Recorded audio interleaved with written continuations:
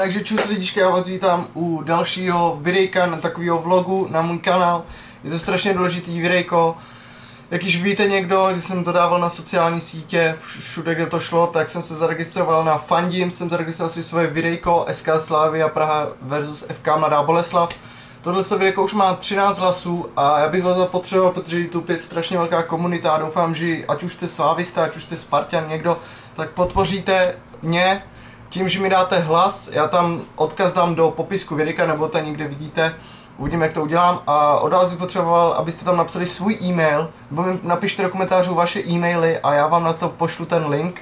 S tím, kde to jenom potvrdíte na e-mailu, ten potvrdíte a tím mi dáte hlas a bych mohl vyhrát krásnou novou kameru, kterou bych mohl natáčet kvalitní vlogy a let's play a bůh ví co všecko. Takže budu moc rád, když mi ten hlas dáte a to bude asi všecko, takže zatím se mějte hezky, fanfárové, já se s váma loučím a u dalšího videa, který vyjde již brzo na viděnou, zatím zdarec. Tady vám ještě ukážu, jak to vypadá, je to tady to videjko, vidíte, Jan Zvoč už má 13 hlasů, takže pojďte, pojďte do toho, pojďte to vyhypovat a udělejte mi tím obrovskou radost. Já vám zatím děkuju a čus, z lásky.